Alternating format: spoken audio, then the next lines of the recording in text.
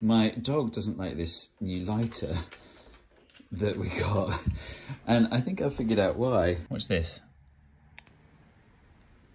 17,829 hertz. I can't hear it, but my dog can.